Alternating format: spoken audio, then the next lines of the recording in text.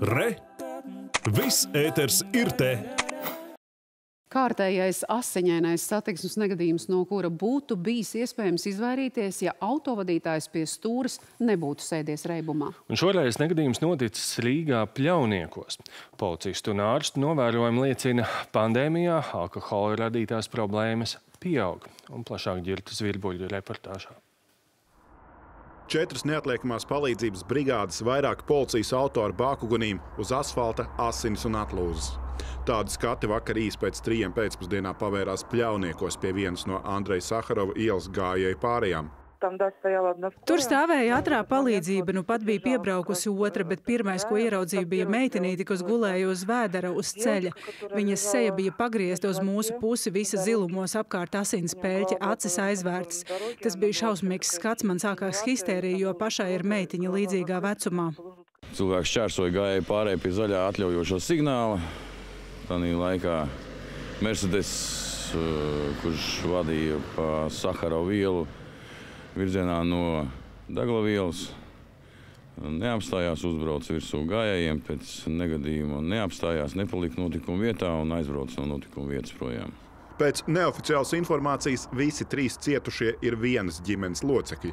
2013. gadā dzimusi meitenīte ar savu māti un vecmāmiņu. Vissmagāk cietusi tieši meitene, kura pašlaik atrodas kritiskā stāvoklī. Abu pieaugušo sieviešu stāvokli ārsti raksturo kā smagu, bet stabilu. Kaut gan pārkāpējs notikuma vietu bija pametis, policijai ar aculiecinieku palīdzību izdevās noskaidrot viņa atrašanās vietu. Drīz pēc avārijas 1987. gadā dzimušais vīrietis tika aizturēts turpat netālu Dzeņu ielā pļauniekos. Viņš savu vainu atzīst. Tika konstatēts, ka viņam ir 2,8 promils, kā arī viņš vadīja automašīnu bez vadītāja tiesībām.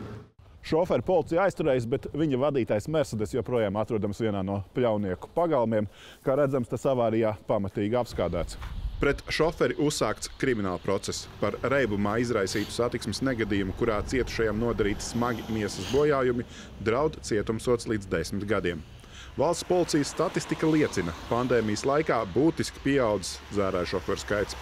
Ja pirms pandēmijas 2019. gada laikā tika pieķerti aptuveni 3500 dzērāju šoferi, tad 2020. gadā to jau ir ap 4000. Dati par pagājušo gadu vēl tiek apkopoti.